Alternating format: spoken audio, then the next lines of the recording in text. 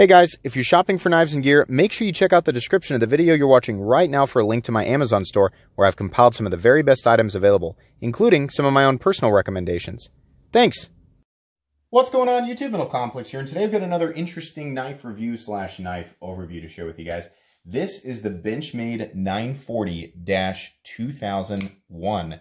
Um, this is uh, not a 940 with aftermarket parts on it. This is a special variant of the 940, a limited uh, variant as far as I understand. And at the time of this video, right before I started the video, I checked to make sure um, it doesn't look like they're available anymore at retailers. Now, I don't know if that means that, you know, there'll be more coming and they've got a few more before they finish the run. This does not seem like a 940 that they'll make a full production, that, that they will make a permanent production version of.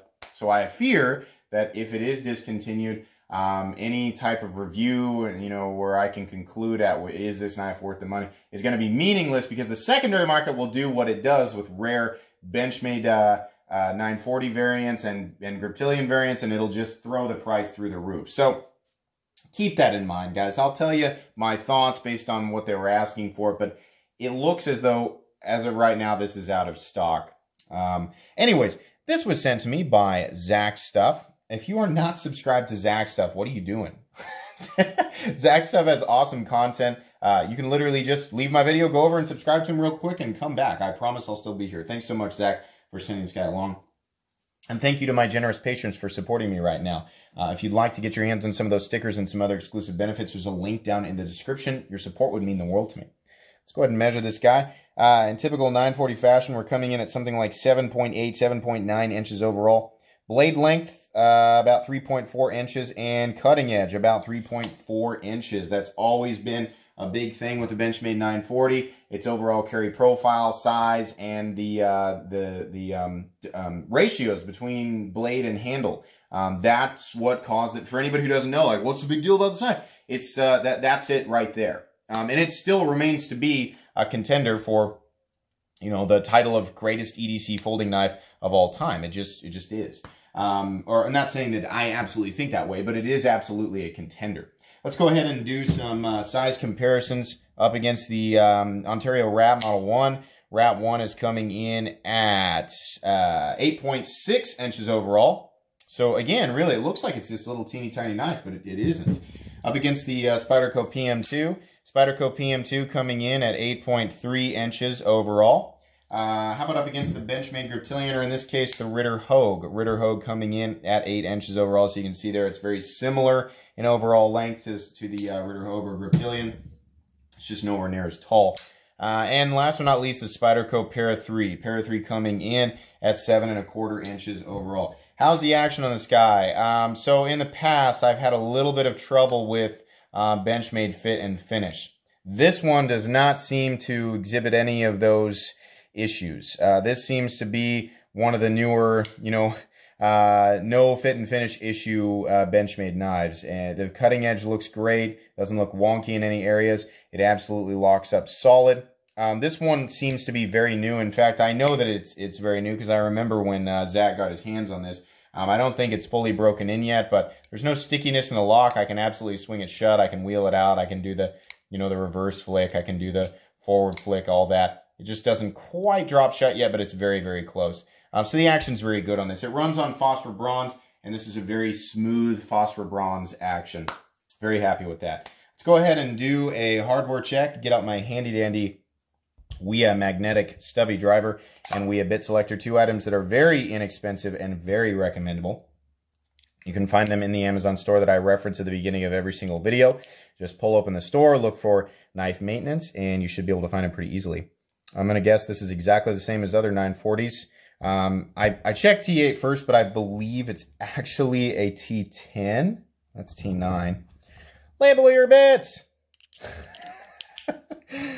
Let's try the T10 real quick. Be real careful here. I don't want to touch that titanium. Yeah, that's a T10 on the pivots. And I'm going to guess, like most Benchmades, the hardware on the scale is T6. The reason I put my thumb on the bit is to guide it there so I don't touch it. Yeah, uh, or don't touch the surface of the titanium. Yeah, T6 on the handle hardware, on the pocket clip, things like that. So you guys know the the, the drill here, what I say about um, T6. I don't like them. I wish everything was just T8 or higher. Uh, that would make it easier. It'd make it easier, you know, safer on your bits, safer on the fasteners, so you didn't, you know, strip them. Um, uh, but, uh, you know, it is what it is. As long as you're careful, you shouldn't have a problem disassembling this knife. The axis lock actually will make it more difficult to disassemble than anything else, but with practice, you, you can get it figured out. Uh, let's see here. Carry profile. So this is a notoriously thin knife. This particular one is a heavier variant because of the solid titanium scales. But other than that, I believe the dimensions are exactly the same. Uh, blade stock thickness is coming in at 112 thousandths, 113 thousandths, so very thin blade stock. And then carry profile, I mean, we already talked about this. This thing is an absolute winner. Up against the Spyderco Para 3 and PM2, two knives that have awkward carry profiles that nobody ever complains about. You can see there it is uh, about the same length uh, overall head to toe as the Para 3, maybe a little bit longer. Um, and then in terms of height, uh, it's got both of them beat by a long shot. Um, in terms of thickness, actually, too, it's just not a thick knife. It's just a thin knife, right? So for those of you looking for a full titanium knife that's got a good carry profile and good blade to handle ratio, that might be enough for you right there to pick this up, if you can find one. I keep having to remind myself that it's just not available. People ask me, why do you review knives if you can't get them? Because I like them. I, the the, uh, the main drive for doing this, guys, is that I like knives. I like interesting knives. I like interesting variants of knives, right? I am a knife nut. So I want you guys to be entertained. I want you to be informed. And in the event, you know, that there's somebody watching who's thinking, I'm okay with paying whatever the secondary market's interested in, you know, charging me. I just want to know, is this a good knife? Then I'm reviewing for those people. But I also just like to talk about knives. So whether or not a knife is discontinued or available or, you know, there's this drama associated with this drama, that has no bearing. I will review the stuff that I think is cool. That's how it works. Anyways, um, let's go ahead and talk about the anatomy here. So these are titanium scales.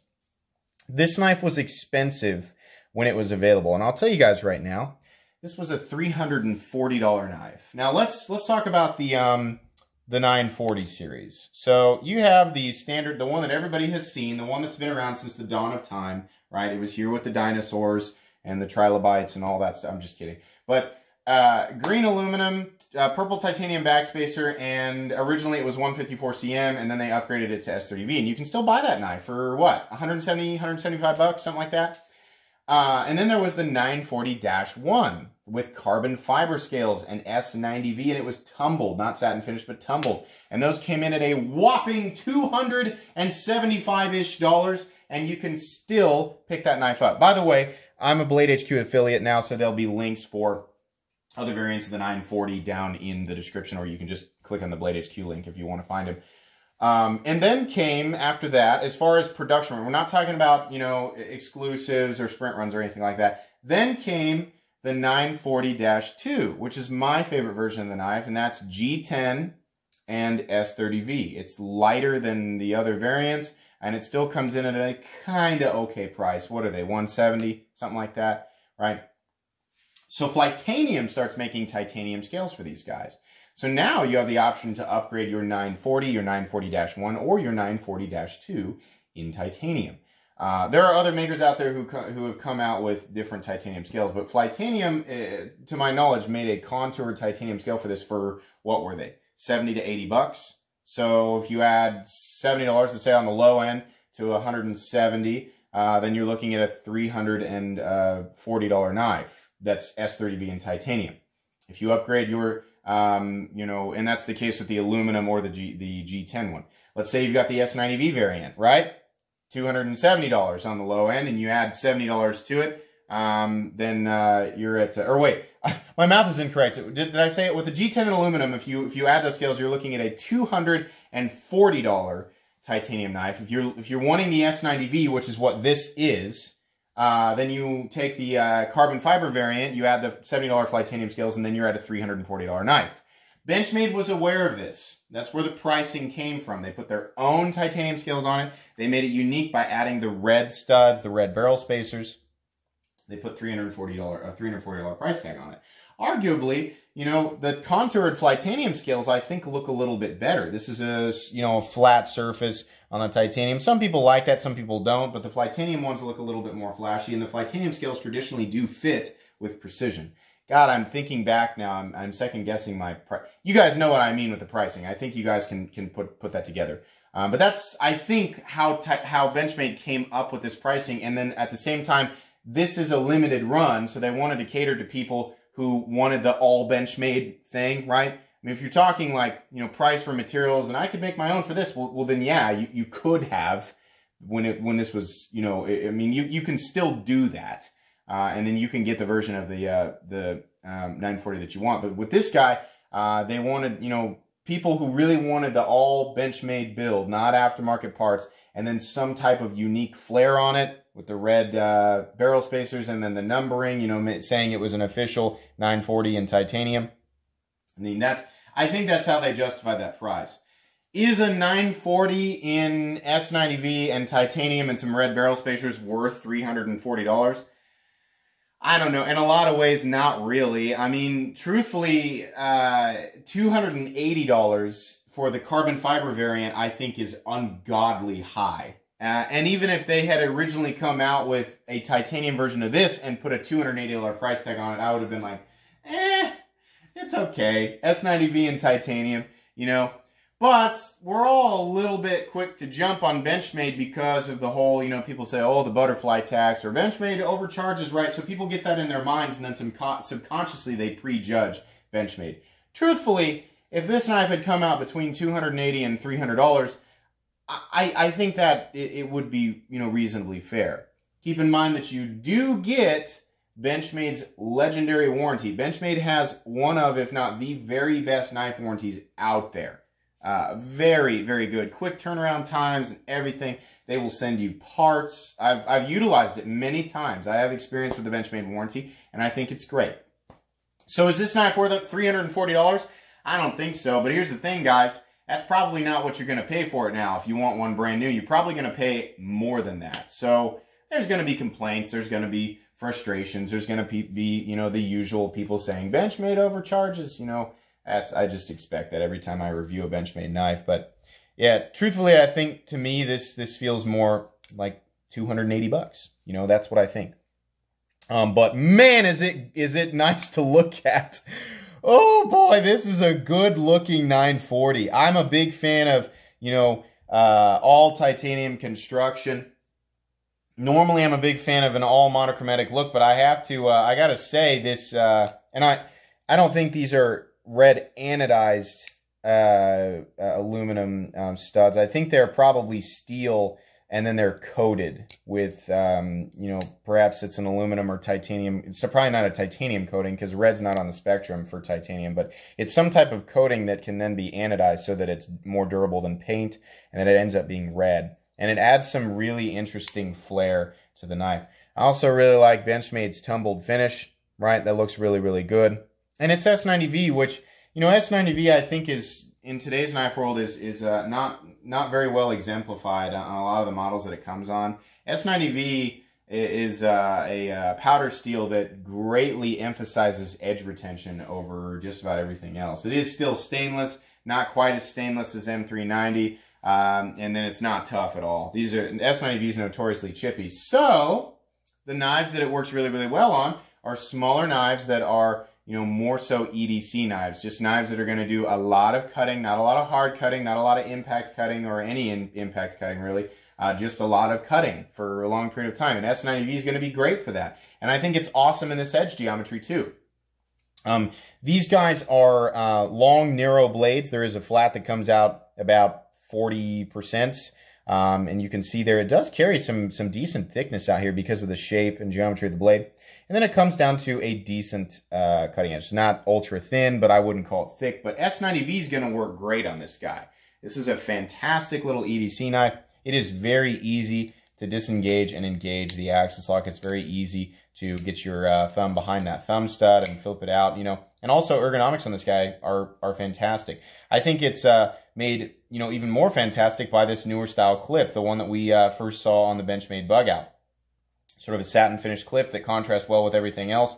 It's just excellent. This is a very easy knife to hang on to. And I've, I've had a lot of experience with this guy. I've owned the 940 three different times. One in 154CM, one in S30V, and those are the aluminum variants, and then another one, a 940-2 in G10 and, and S30V. And yeah, it's a great knife. My my love for the 940, I've said this many times, has kind of fallen away. I've just become bored with the standard 940. But it was it was kind of like the fire was restoked with this titanium variant because I was like, oh, that's awesome. You know, titanium and S90V, that's really cool. Um, but yeah, I mean, the thing that held me back from buying this guy, truthfully, was the fact that it was 340 bucks. I, I mean, it, there was a time where I looked and it was available and I could spend 340 bucks on this guy. Um, this, uh, this version of this knife is made specifically for people who just, um, you know, really, really love Benchmade, really, really love the 940, and really, really wanted a factory version of this knife with titanium scales. They didn't want to have to buy one and add aftermarket titanium scales, which, by the way, are manufactured in China. I love titanium, but I think you guys should know that. Titanium, titanium scales, as far as I understand, are not manufactured in the United States, right? So keep that in mind. If you want it full, you want to be able to say, I have got a Benchmade 940 in full titanium and the entire thing is made in the United States, including the titanium scales, well, this was the one. This is the only one, unless you, you know, pay. I think Rock Scale Design uh, makes their, their titanium scales in the USA, but you'll find that those scales cost a lot more money. Um, so it's again, it's the same argument. You can get this material for so much less. Yeah, if it's manufactured in China, it's always the case. People are quick to jump on the whole greed factor thing, but a lot of it is labor and manufacturing costs. So that's, I mean, like, you don't have to, you, you don't, here, here's the end result. You, you can look at this and go, well, I don't want it. It's just too much money. Or I really, really want that and I'm going to buy it. You know, you, uh, you, fa facts are facts. And then you can decide whether or not you want to buy this object based on how much it costs and the facts that surround it. Um, it makes me sound really, really arrogant. I'm not trying to like, you know, say that I'm smarter than everybody or anything like that. That's just, that's, that's just what it is. That's why things cost more sometimes. But yeah, admittedly, Benchmade knives seem to cost a little bit more on top of that. It just depends on where you, you know, decide your value system is. If you value the warranty and the extra, you know, part of that, then maybe this makes a little bit more sense to you. If you don't value that and you kind of look at, you know, materials and you're like, I don't really care where they're manufactured. I just, you know, I want titanium on this thing and I can have it for less, then, then yeah, then just ignore this and go buy what you want, you know? Um, but fact remains, it's just not going to be available. I think this is a beautiful knife. And I, I mean, functionally, yeah, this thing is going to be wonderful. I suppose we didn't weigh it. This is a non-traditional. Whenever a knife is like unavailable or I've reviewed it before, I don't go about it the, the same way that I usually do. Solid titanium scales bring this guy to 3.39 ounces. Now, there's gonna there's gonna be a lot of people like, oh, it's so much heavier than the aluminum and the G10. Oh, guys, this is still right on that ounce and inch thing, right? So a lot of times the same people, you know, that will um, you know complain about a variant of a model that is known for being ultra lightweight, if they'll complain about it for a variant being heavier, a lot of those people will also, you know, applaud a knife that is, you know, has, uh, that is an ounce an inch in terms of weight to blade uh, or cutting edge ratio.